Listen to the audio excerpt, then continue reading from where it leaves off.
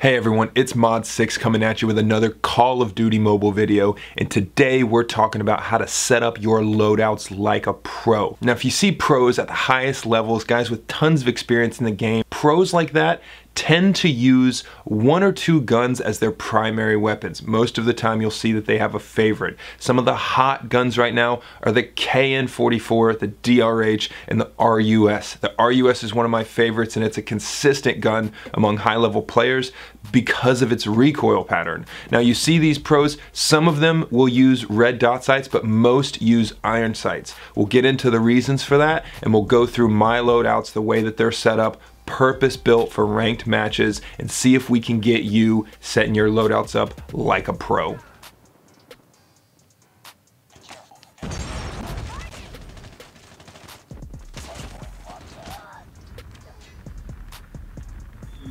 That's how you left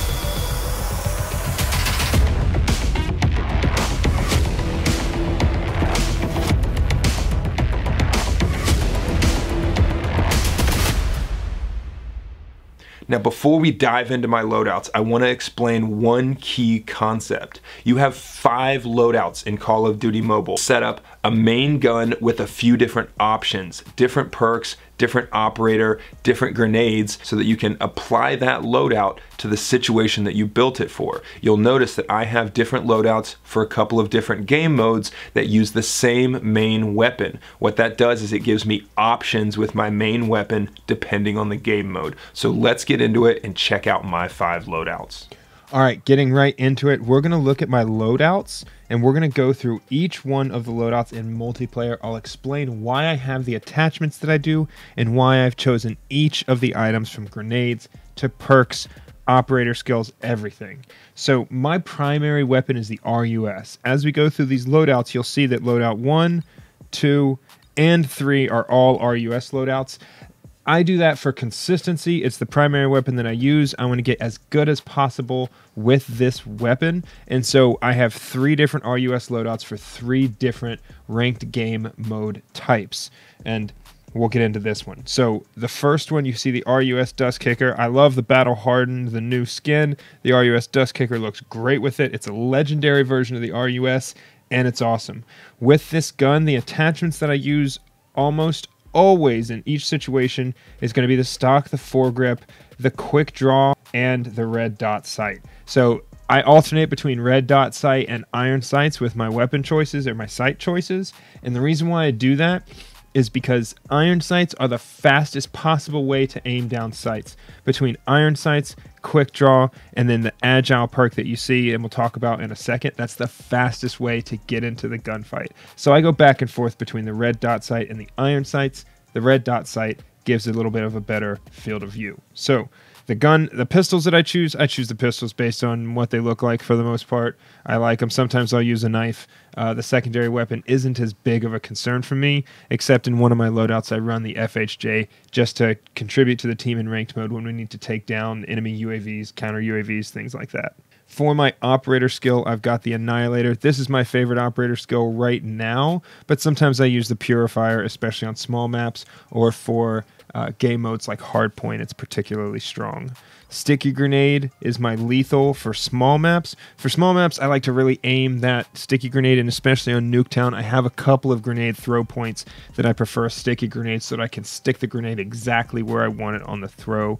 And then I use a smoke for concealment and some freedom of movement. Getting into the perks, for the first perk, already talked about this a little bit. I use Agile. It's basically another quick draw. So it reduces the aiming time of the weapon after sprinting. We spend most of the time in these games on multiplayer sprinting, and so reducing that aiming time gets you into the gunfight faster, which we've talked about as a huge advantage. For the second perk, we have Cold Blooded.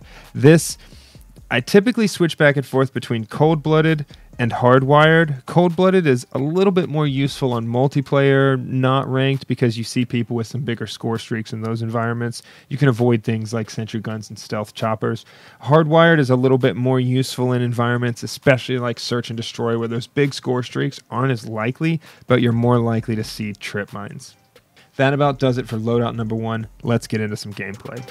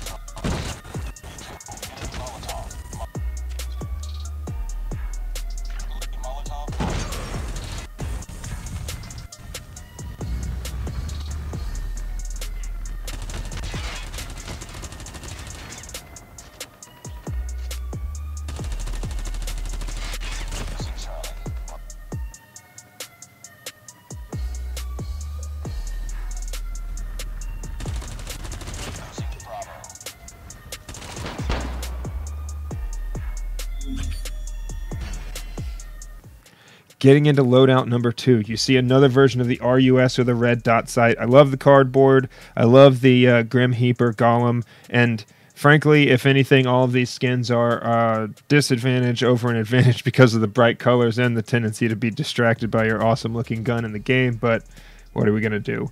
I use the FHJ on this as a way to take down enemy score streaks if needed. The Annihilator is my operator skill. Trip Mine for the lethal here. That's applicable in some situations, and I like to be able to switch to this on a map or a game mode where Trip Mine is a big advantage. And then a Smoke Grenade as well. For the perks, because I use this loadout more on large maps, I use the lightweight perk. The reason why I use that is because sometimes there's a longer run in between where you're spawning and where the objective is on large maps. You'll work to reduce that by flipping spawns to your advantage whenever you can, but you can't avoid that run sometimes, and the lightweight perk and increased running speed is helpful in those situations.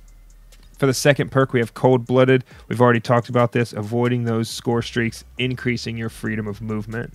And then Dead Silence as the last one. Grant Silent Movement. This is all about the element of surprise, and this is my favorite perk for this section right here. The only other one that I use is Alert, and we'll talk about when we use that one. That about does it for this large map loadout. This is my second loadout. Let's get into some gameplay.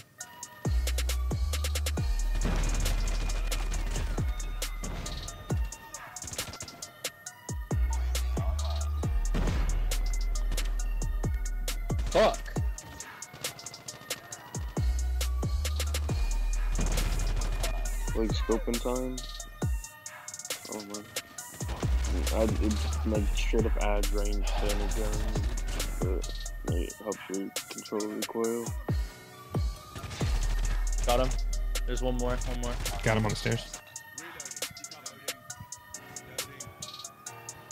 Oh, you got one coming through bottom grandma. Downstairs, got him. Checking back alley. One back alley, got him. Ha! Noob. Fuck. Yeah, go watch ladder or watch stairs after that ladder. I got a ladder. One going garage. Got it. they're coming up Molotov from out. He's downstairs. One Uh, got stairs, him, got him, got him. Alright. One coming up. Two coming up mid alley.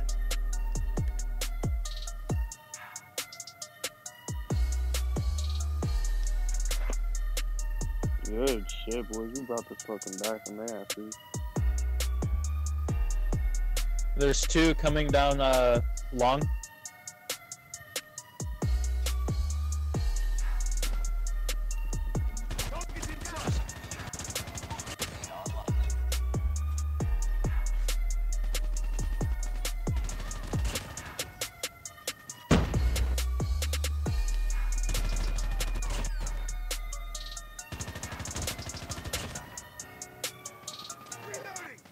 All right, this is my third loadout, and this is a special purpose loadout specifically for search and destroy. I use the RUS again. The skin, the Spectre is just cool looking, and the RUS, this version matches it. This one I've got iron sights on right now because in search and destroy, I want to be as fast as possible with gunfight every millisecond matters because there are no respawns. We've got the pistol here as the secondary weapon. Annihilator is my operator skill. You don't see it used too much in Search and Destroy, but that's my favorite one. And then we have the Trip Mine and Smoke. Trip Mine is particularly good for Search and Destroy, I find, because you're a little bit more spread out, especially when you get into those 1v1, 2v2 situations. And the Trip Mine, as you're being chased or as you know the path that the enemy might take, gives you a chance at getting one of those extra kills. Getting into the perks, agile, we talked about this. It's like another quick draw. It gets you into the gunfight faster and gives you those extra milliseconds to maybe win that gunfight, stay alive, and win the search and destroy round. Tracker. This is a very beneficial perk when you're down in those 1v1 or 1v2 situations, even because you see those footsteps for four seconds and you've got a little bit more situational awareness and understanding maybe where the enemy is. This could give you the chance to catch the enemy by surprise, shoot him in the back, and go from a 1v2 to a 1v1 and maybe win the round. And again, dead silence in search and destroy i keep hitting on this concept of those low numbers on the map situations in a 1v1 but being able to hear footsteps or not could be the difference between winning or losing in a search and destroy match. And the situations arise more often where it's very, very quiet and footsteps matter a lot. There's less going on on the map in search and destroy sometimes. That about does it for the search and destroy loadout. We'll get into some gameplay to see it in action. It, So I mean, good shit, good shit. Kept on beef drawing it, so we could all like see where we're supposed to be.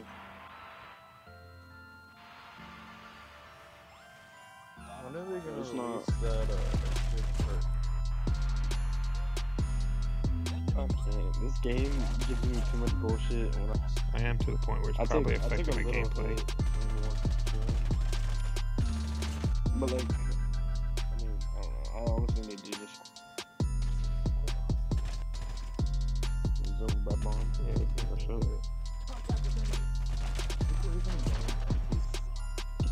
Get your KRM ass out of here.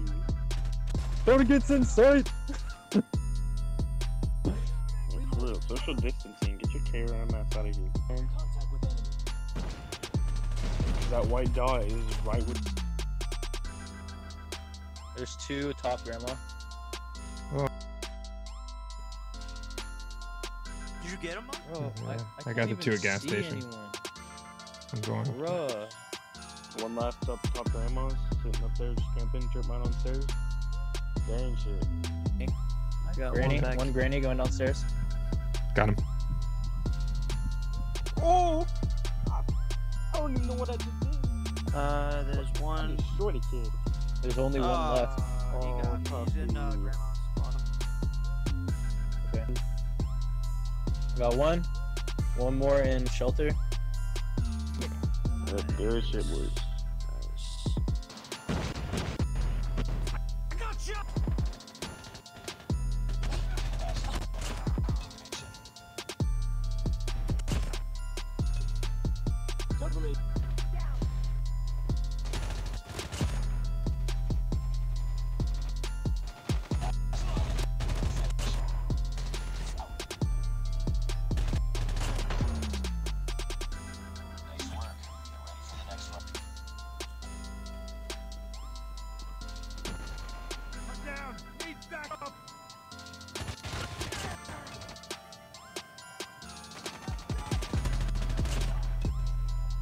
This is my fourth loadout. This one's a lot of fun. Small maps, usually just multiplayer stuff like Hijacked or Cage.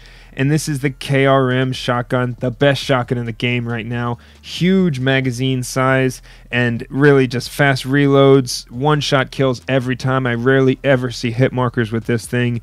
This looks awesome. Uh, this uh, Ruin action figure looks like looks like a Ken doll and uh, or a GI Joe maybe. We'll go with that and uh, the J358 firecracker is a cool gun to go with this. We've got the purple frag grenade, the rainbow smoke grenade, the gag that came with Gunzo, the clown draw, and then let's get into some of the perks here. Lightweight, so we can run as fast as possible all over the map with that shotgun. Cold blooded, more freedom of movement. With this loadout, I find myself in game modes where people are using huge score streaks, so this cold blooded perk helps me die less in the situation when you got stealth choppers and, and uh, sentry guns all over the map. And then dead silence. Again, maybe get the element of surprise. Enemy can't hear you. The only other thing that I would consider for this is alert, just so that you could make quick turns knowing where enemy might be right around you when you've got that shotgun. That's it for the Ruin action figure with the KRM shotgun for my fourth loadout. Let's get into some gameplay.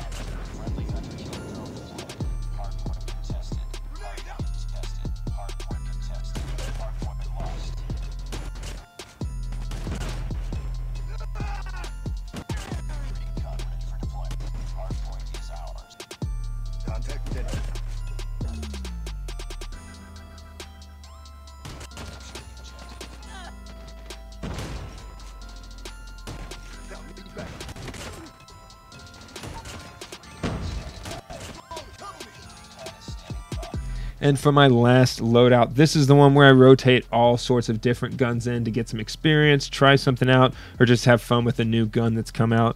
The DLQ Red Action is what I have in the slot here. That I've been working on my sniping skills, and we've got Scarlett Rhodes as the skin, so that uh, just because it's the same color almost. Yep. And then we've got the knife from the Gunzo draw, the gag knife. We've got a firecracker sticky grenade, the smoke here, and then lightweight so she can move a little bit faster with that heavy gun. Cold blooded, enemy controlled score streaks can't target her. We've used that in several other loadouts. And then alert. So if there are enemy in very close range, I know to switch to the knife and I know which way they're coming from, usually, so that I can maybe get that kill if they get close to me when I've got the sniper. Or even get the quick scope situation where I know which way I'm going, which way I need to flick the shot, and maybe have an increased likelihood of getting the kill due to that alert perk. Let's get into some gameplay with the DLQ Red Action Sniper Rifle. Enemy